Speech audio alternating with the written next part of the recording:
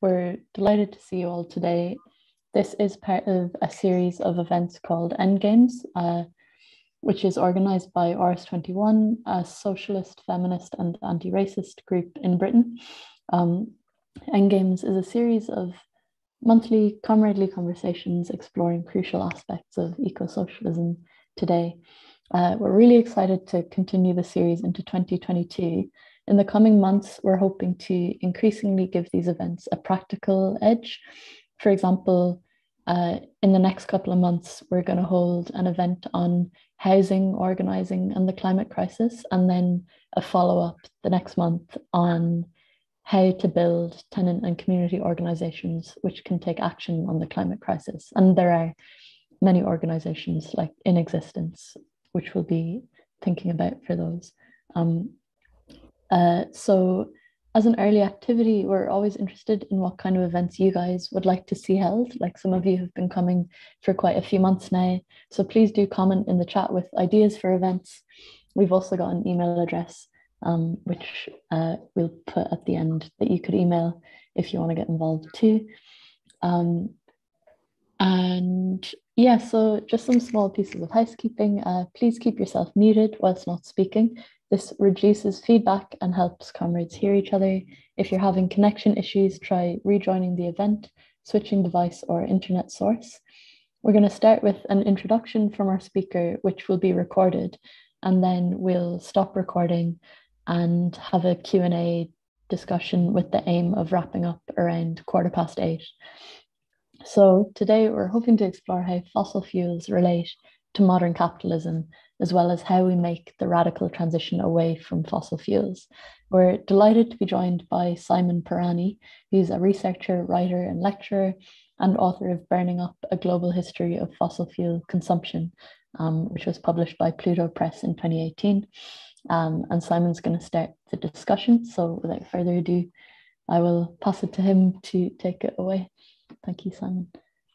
Okay, uh, thank you, uh, Una, and uh, thanks everybody for uh, attending. It's really nice to be among uh, friends and comrades, even though it's over this horrible Zoom, which we've all come to uh, sort of have a love-hate relationship with. Um, what I'm going to do is um, try to say quite a lot in quite a short time, and I'm going to do it with slides um, because I, you know, this, this, I think there's nobody here for whom this is the very first meeting they've ever been to about this stuff. So I want to try and pitch it in a way which will uh, give people some substance to talk about. But if I rush, uh, you know, we can go back during the Q and A. Um, and uh, so here we go. I'm going to try and share my screen. Um, yeah, is that is that good? Okay, so um, oh yes, okay. So that, that's roughly what I'm going to talk about: ways in which fossil fuels are central to capitalism, how fossil fuels were commodified, um, the way in which they're produced and consumed through technological systems. I'm going to then say very quickly a bit about the politics of technologies because I think uh, that's something we need to uh, think about uh, and then talk about confronting those systems and uh, both in the short term and the longer term. So as I said, it's a lot in a short time. Um, we don't have to look any further than uh, Kazakhstan and the events of the last couple of weeks to get a kind of microcosm of the issues uh, raised by um, the centrality of uh, fossil fuels to capitalism. Um, we see workers separated from the product of their labor. The whole thing started uh, with a protest movement in the uh, area where oil is produced. And the, the substance of the movement was that people didn't want to suddenly be told that the price of the fuel they used in their uh, cars and uh, to heat their homes had doubled. Um, but it became very, very political. So this is just from uh, somebody who put this on Facebook, a human rights activist uh, just before the internet was cut off on the 5th of uh, January. And you can see the last, uh, well, all four demands actually two, three, four, and five, very, very political, particularly uh, number five, the return of the stolen money.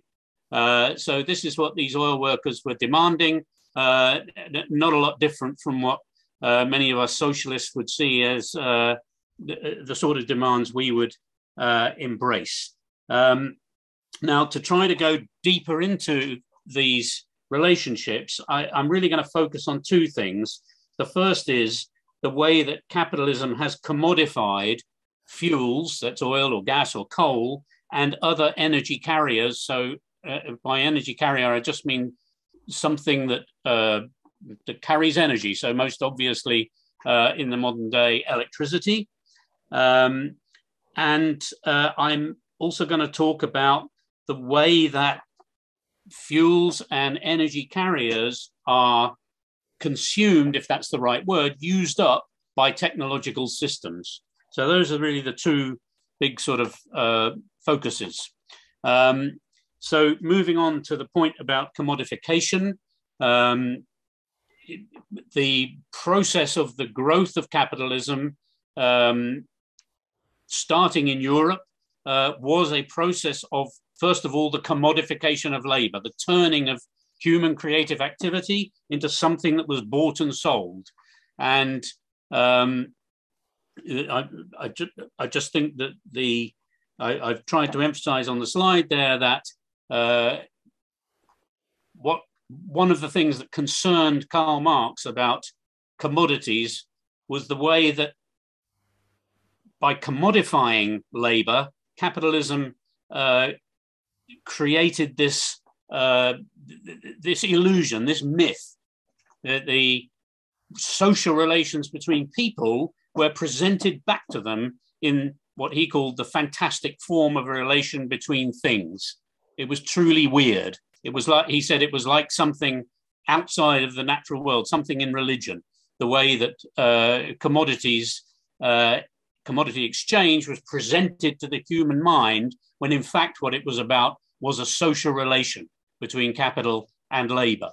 Now, capital not only commodified labor, it also commodified a lot of other things, uh, including uh, fuels, uh, coal, particularly in the 19th uh, century, uh, and electricity when it came into use at the end uh, of the 19th century. These things, which are taken from nature, which are part of nature, were turned into commodities to be bought and sold. And the, the book that uh, Una kindly mentioned that I, have written is a history of uh, the consumption of fossil fuels, and it and it looks at those uh, issues. Um, now, before I go on, I should just tell you that um, I published a, a, an article looking at this issue of uh, commodification. I hope you'll read it.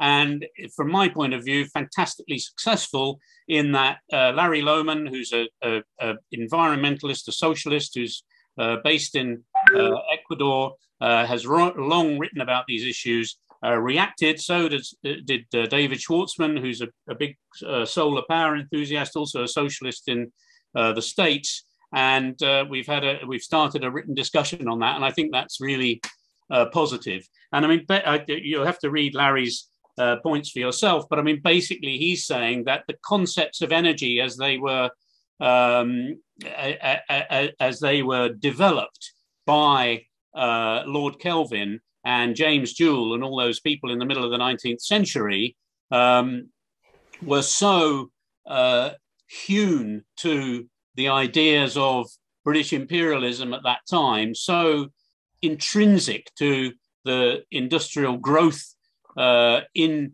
uh, Britain at that time, that it's very, very difficult to use these concepts uh, of energy and energy services um, without uh, just repeating uh, the ideology against which uh, we're trying to fight.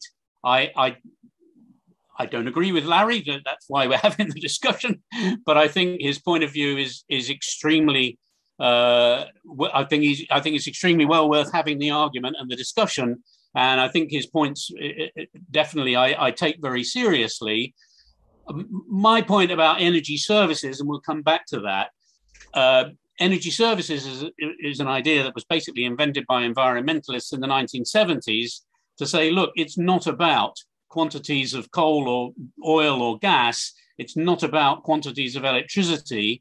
Uh, you hear all the time in these arguments about climate change, well, we're going to need a certain number of uh, terawatts of electricity, we're going to need a certain number of millions of tons of oil equivalent, and so on and so on and so on. And uh, Amory Lovins, who was a completely kind of pro capitalist thinker about these issues, but a very uh, strong environmentalist, said, well, it's, it's not uh, tons of oil equivalent that anybody wants. What they want is light in the evening and heat for their home. And that's an energy, I mean, he called it an energy service. So, anyway, that's what our argument's about. Now, um,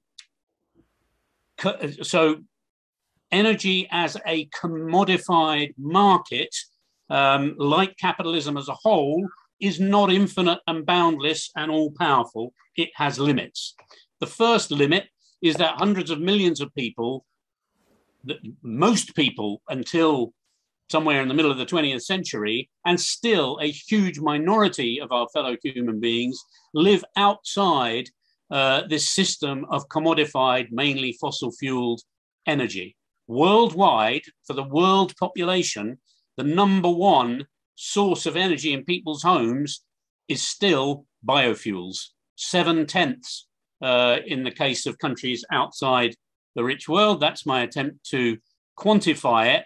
Um, it. There's not an exact correlation. This is people with access to modern forms of energy, like electricity in grey, um, people in orange with some electricity, but using biomass, usually means wood or wood shavings, a, a brush that they've collected from the forest to cook, and people without electricity in green. And two points just to draw to your attention in Africa on the right hand graph, most people uh, are uh, the green bars without electricity. And in the left hand graph, world energy provision, you can see that orange, those orange uh, uh, uh, columns are growing very rapidly. Uh, in the 21st century, that's people with some electricity but using biomass to cook. And that's hundreds of millions of people in uh, shanty towns, in uh, rapidly expanding cities, in uh, countries outside the rich world. And what's happening there, I mean, this in fact is a photograph from Spain. That's the only one I could find. Um, but uh, this is happening also uh, in South Africa, in Latin American countries in a massive way, is that those people coming into these shanty towns uh, where there are mobile phones, where there is electricity, where there are all these things, they want that stuff and they don't want to pay electricity corporations the prices that those corporations are charging. And there's been massive uh, social conflict on this in South Africa and Brazil and all kinds of other places. And that's a limit on commodification as well, just as in countries like this one, the labor movement has a history of uh, arguing for and fighting for uh, energy muni- uh, and other municipal services to be provided to people as a right um, through nationalized uh, companies. So, uh, worldwide, there are limits put on commodification by struggle. Right, this is the next point, which is about the way that fossil fuels are both produced and consumed by and through technological systems. And I, I mean, particularly in terms of consumption, I think it's, you know, this is the answer to the kind of crude uh, environmentalist or even populationist approaches to consumption, which is that, uh, you know, there's X number of people, they're all consuming uh, so much stuff, and the solution is to have fewer people uh, in, its, in its very extreme form. But uh, th these ideas of consumption are very, very widespread, far beyond if it was the, the populationists. If it was just the populationists, um, it wouldn't be so much to worry about. Um, so that that that's that's wrong in the in the case of um, fuels and energy carriers. That's not the way they're consumed. They're consumed by these technological systems, and we need to think about those systems and the way that those systems are embedded in social uh, and economic systems. And just uh, again, very quickly, and I'm going to, by the way, I'm going to leave these slides with uh, Una and Pete, and hopefully there'll be a way of circulating them to people. Um, I've put links in them to more stuff uh, that I've written, other people have written. So uh, because you know we're not going to we're not going to discuss the whole uh, relationship of energy and capitalism in an hour and a quarter, no matter how hard we try. So uh, this slide, it's just to draw your attention to what sort of energy researchers is is one of the basic kind of frameworks, which is that there's primary energy, which is oil as it comes out of the North Sea.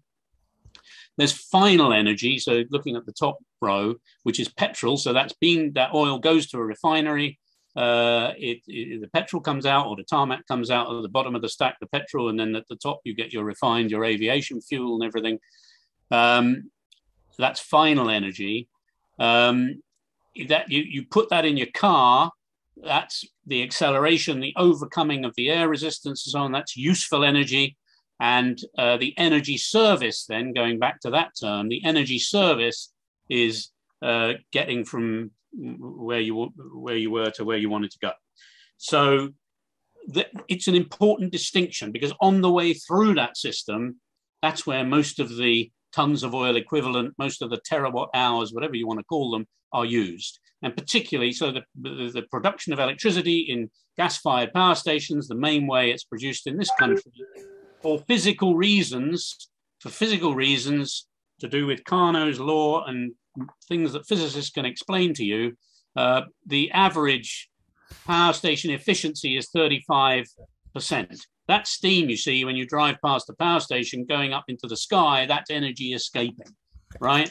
So energy is being, quote, consumed, unquote, all the way uh, through uh, the system. So just a quick word on production. Uh, there are people here from Scotland, you know all this better than I do. Um, uh, oil and gas production uh, started in the US, Middle Eastern countries, Russia. Um, the, the, it's a whole technological system of itself. I think that's the point I want to make. Big technological development of the 21st century, the combination of horizontal drilling and fracturing. This led to a big increase in US production. The US is again ex, uh, a net exporter of hydrocarbons. That's a very important uh, development. Now, looking just a bit further, uh, and I'm trying to uh, remain conscious of time, a bit further at the way that the fuels go through that system. So, um, let, again, on this slide, let's just focus on that middle column. It, it, this is the UK, bit out of date, 2013, but hasn't much changed. 33% of the energy, a third of the energy is used in processes. So the energy industry own, own use and losses. So that'll be uh, all the uh, energy that's actually used on the North Sea to get the oil out of it. Uh, a fifth is used to make the electricity, but that's the steam that disappears. That's not the electricity. That's the steam that disappears up into the clouds. 4% oil refineries, blast furnaces, and other uh, processes but in, then if you look at that right hand column, so where it says, okay, 19% is used on road transport, but in fact, most of that energy, if that's, and I think we can use that term, is it's not needed um, because you know a, a, car weighing you know whatever it whatever it weighs, you know hundreds of kilos, is carrying around a person, usually one uh, in most cars, um, who, who's, who's sitting there. And so you're using an enormous amount of fuel just to get that person from place to place. Or in a, in a probably more relevant example, you heat a home. Well, if the home's uninsulated or badly insulated, like most homes that working class people live in, well, most of the most of your energy just goes out the window or through the brickwork, as many of you probably know only too well from your own homes. So uh, the idea of final use. So, you know, the people who thought up the slogan. I mean, the tactics is another story. We can argue about that. But I mean, the people who thought out the, up the slogan "Insulate Britain" that was brilliant, because that's absolutely the point. Um, if you insulated Britain, you'd you'd take that 21% that's being used on uh, residential, you could cut it in half or more, even before you uh, move from fossil fuels to uh, renewables. Now, people try to draw uh, flow diagrams. You don't have to memorize this before we start the discussion. Um, they try to draw flow diagrams to show this uh, flow through systems. So it's not me that's invented this. This has been a subject people have been researching for years. I found this one. Uh, I'll just if you can, if I can just point out one thing on this one. On my screen, I can't see it because I, I can see four charming people who are in the meeting. Can you see the top right hand corner or not? Let's yes. Yeah, I think so. You can. All oh, right. Okay. Well, uh, good. Um, in the top right hand corner, what you can see is that most of the energy is called rejected energy. This is by actual physicists in the States, and they're talking about the same thing that I was talking about. So if you look at electricity generation, that gray flow that's going across, that's the steam coming out the top of the power station. That's the energy which is actually lost in the course of um, converting coal or gas uh, into electricity. And you can see the other um, flows that are lost as that uh, flow from residential. I'm surprised that's actually so small. I've actually emailed the guys who made this to try and uh, start a discussion with them about how exactly they're working it out because they haven't put their methodology online. But I just think it's interesting that you know you, the rejected energy is far bigger than what they would say is uh, the energy that's getting used. Uh, no doubt somebody else would uh, work it out differently, but it's just to give you an idea. Right, why do these flow diagrams matter? Um, because the energy is expended, often wasted at each stage of its passage through the technological systems. Most politicians pretend that, I mean, this roughly applies to the British government.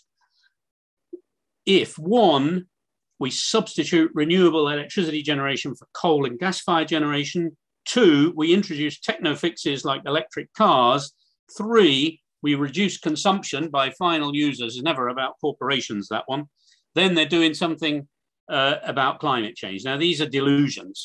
But I think in order to combat these delusions and work out which of the technologies compatible with tackling climate change and social injustice, we all need to develop an understanding of these technological systems and the alternatives. And the paper I've just referred to at the bottom there. So these guys are proper climate scientists. They fed it all through a computer, done all their scenarios.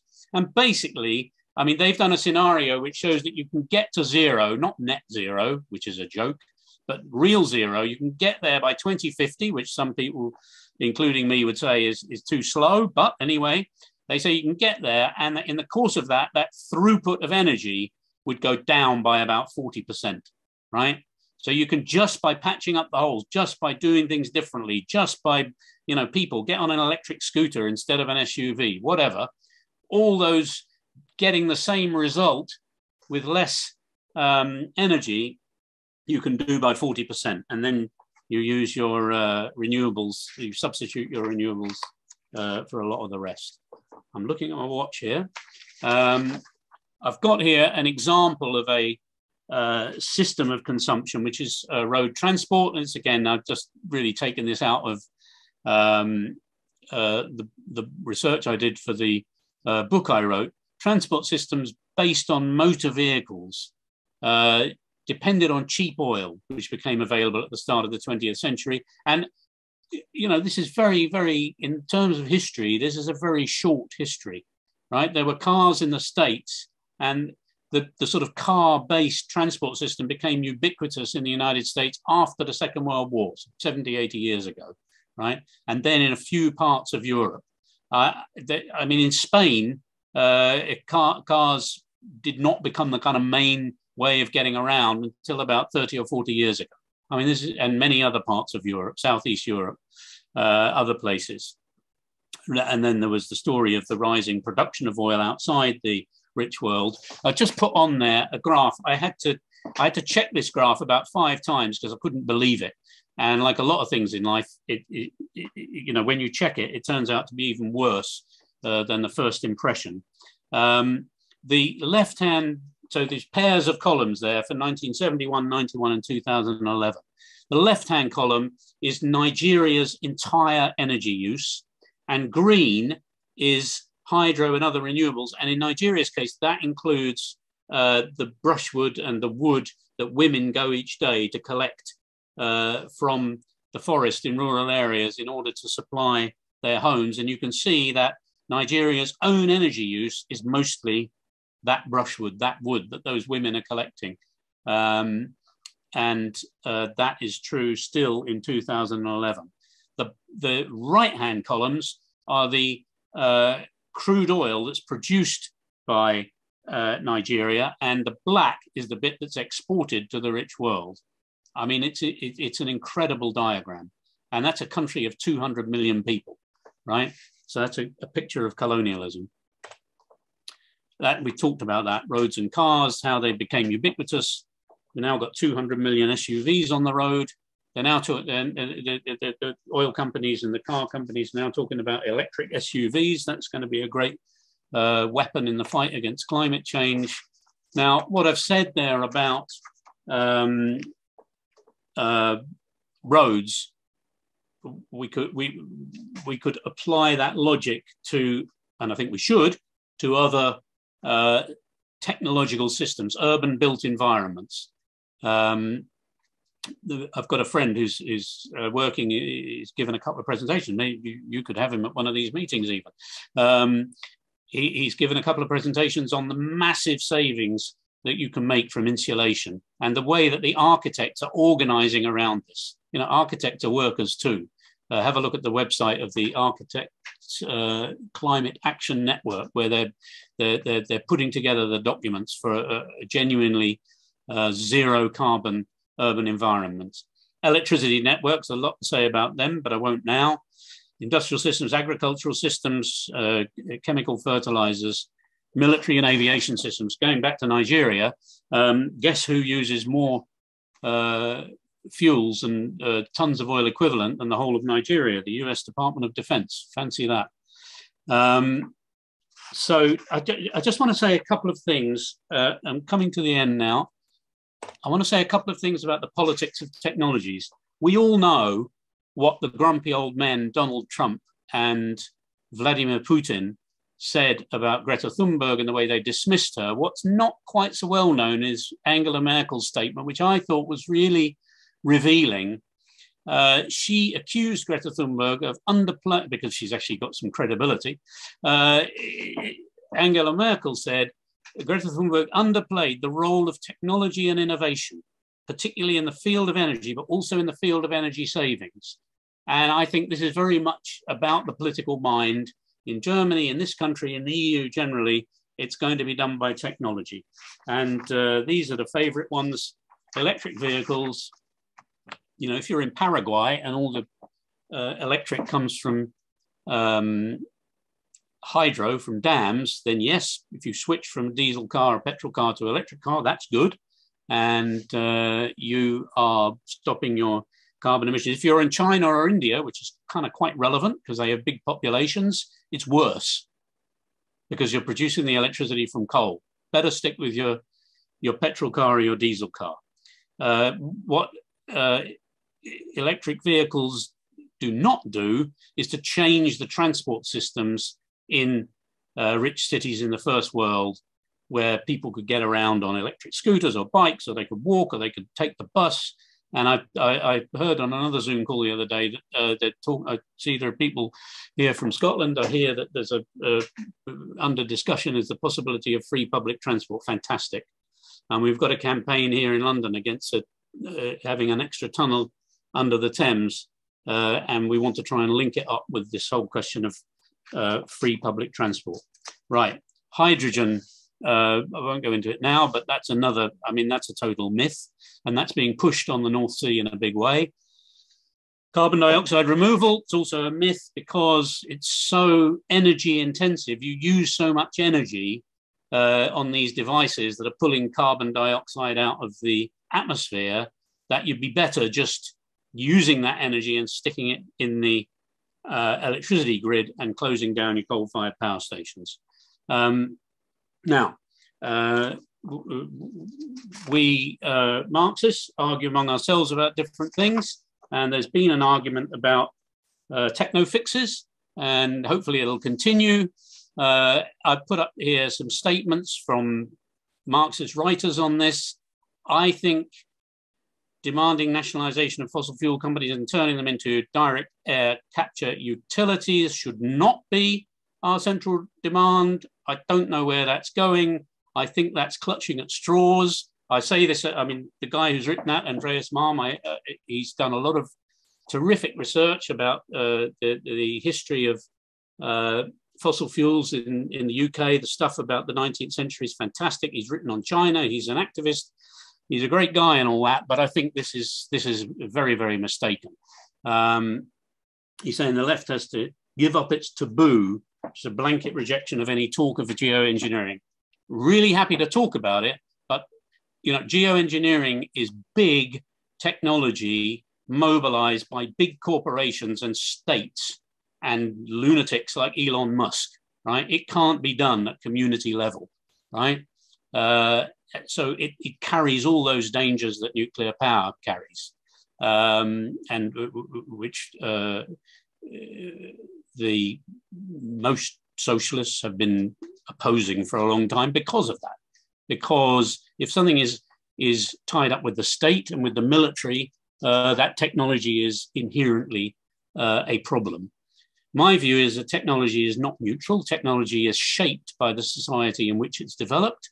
And so a future socialist society is not about taking hold of current technologies and just uh, nationalizing them under workers' control and all will be good. I'm afraid it doesn't work like that. Um, it's going to be a question of changing technologies. I'm not saying anything new. This was uh, the argument by Andre Gorz and others going back to the 1980s. Social movements should now embrace proven technologies that society needs and capitalism obstructs heat pumps, insulation. Not as exciting as you know salting the oceans with whatever it is, or you know putting solar panels in space to reflect back um, uh, sunlight or whatever, but it works, and it's being resisted uh, by the state and by capital everywhere.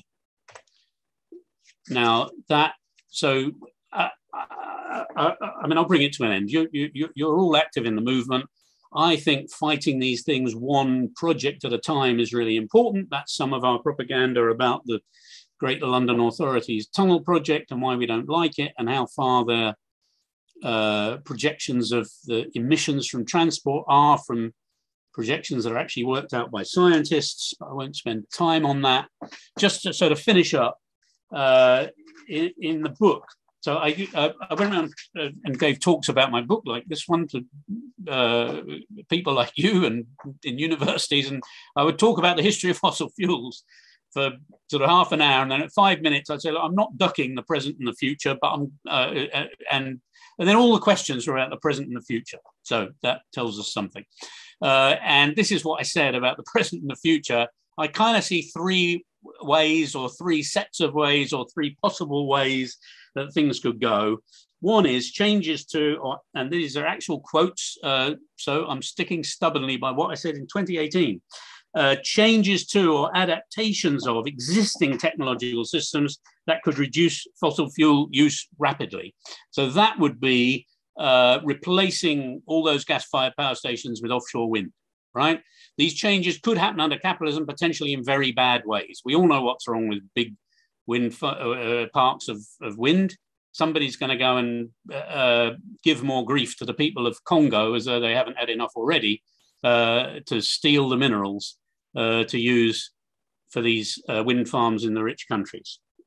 The second way, changes that amount to superseding the technological systems in their current form, including moving to fully integrated decentralized electricity networks, this would be resisted by electricity companies. I don't know whether this could happen under capitalism or not. But I, I mean, to take that particular example, decentralized electricity networks, I think it's a good idea. Um, and I think that's a promising technology. I think that helps us.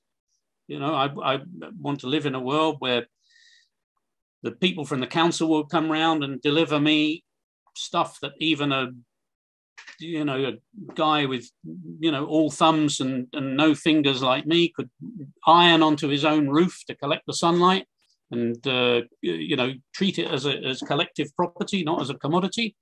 So could that happen under capitalism? Well, and the third uh, option, quote, the transformation of the social and economic systems that underpin the technological ones. That means no US Department of Defense. So there you've got a big saving already, right? That means no advertising industry. It means no petrochemicals industry beyond uh, what's necessary and so on and so on. Big big changes to the technological systems which would be brought about when it's run in the interests of people and not profit. Um, so yeah, those are the three uh, options as I see it, and I'll stop there.